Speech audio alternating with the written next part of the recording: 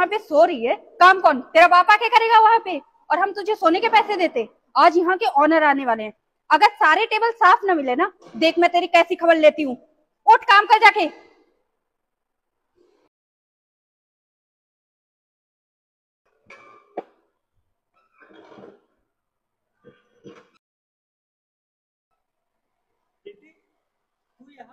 आकाश, इतने साल बाद मिले कैसे यहाँ वेटर की जॉब करती हूँ।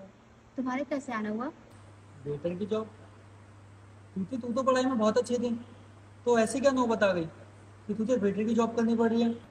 आकाश पापा जी के जाने के बाद मेरे ऊपर बहुत ज़्यादा कर्जा हो गया और कर्जे के सदमे में मम्मी की भी तबीयत काफ़ी ज़्यादा खराब रहने लगी। मेरे पास कोई ऑप्शन नहीं था।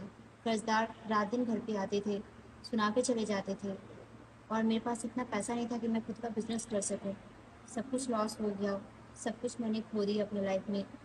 फिर मैंने सोचा मैं जॉब ही कर लेती हूँ। प्रीति तेरी लाइफ में इतना कुछ हो गया और तूने बताया भी नहीं। खैर वो सब छोड़। मुझे एक काम की बात बताता हूँ।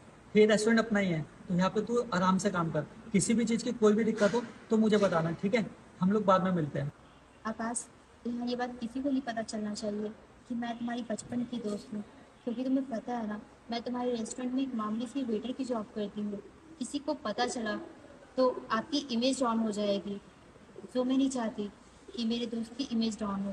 हो गया अब फालतू की फॉर्मेलिटी मत कर ठीक है? अभी चलता हूँ मैं बाद में मिलते हैं। है।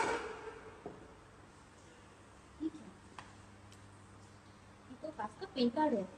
मुझे चल के दे देना चाहिए। रेस्टोरेंट कैसे चल रहा है अभी? वैसे सर अभी तो ठीक चल रहा है बट पिछले महीने लॉस हुआ है हमारा बहुत ज़्यादा। तुम्हारा दो कौड़ों के बेटे तेरी इतनी हिम्मत तू सबको नाम लेके बुलाएगी। मैम मैं आकाश को तो तूने फिर से सर का नाम लिया। तुझे एक बार भी समझ नहीं आ रहा है। आज तक यहाँ किसी स्टाफ में इतनी हिम्मत नहीं हुई कि सर को नाम लेके बुलाए। और तू कल की आई हुई सर का नाम लेके बुला रही है।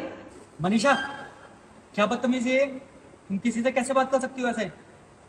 सर आप नहीं जानते। ये दो कौड़ी की वेटर को ना इसकी औकात में रखना ज़रूरी है। नहीं तो ये अपनी औकात भूल जाते हैं।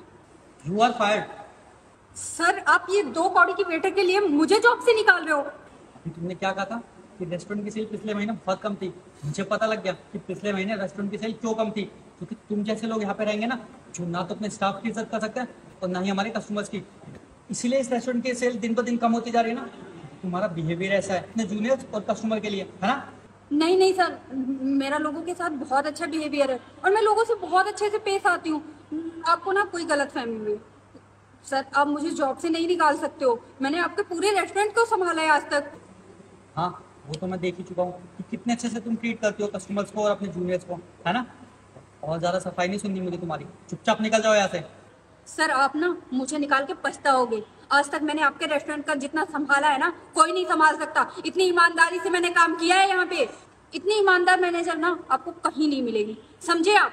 और ऐसा क्या है इस वेटर में, जो आप इसके लिए मुझे निकाल रहे हो? आज तक तो कभी ऐसा नहीं हुआ था, सर। आप मेरी तारीफ़ करके जाते थे और आज इसके लिए मुझे जॉब से निकाल रहे हो। क्योंकि आज तक मैंने तुम्हारा ऐसा रूप नहीं देखा था, इसलिए मैं तुम्हारी तारीफ़ करता था।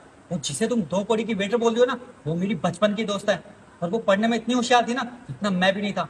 अगर उसके घर के हालत ऐसे नहीं होते ना तो आज वो मुझसे भी ज़्यादा ऊँची पोस्ट पर होती और शायद मुझसे भी ज़्यादा रेस्टोरेंट बना चुकी होती। और मैं ये सब तुम्हें क्यों बता रहा हूँ? चुपचाप निकलो मेरे रेस्टोरेंट से। तुम्हारे जैसे एम्प्लॉयज़ की बिल्कुल जगह नहीं है यहाँ पर। सर मैं तो जा रही हूँ लेकिन आपका ना ये रेस्टोरेंट बंद हो जाएगा। देख लेना आप। और तुम प्रीति आज से तुम इस रेस्टोरेंट में बेटर नहीं हो। हाँ आकाश मैं समझ सकती हूँ। आज जो कुछ भी हुआ वो सिर्फ़ मेरी वजह से हुआ। ठीक है मैं चलती हूँ। ये रहा पैन मैं चलती हूँ। रुको। मैंने बोला तुम्हें तुम आज से सेशन में वेटर नहीं हो। आज से तुम इस सेशन की मैनेजर हो। इतनी बड़ी पोस्ट आकाश।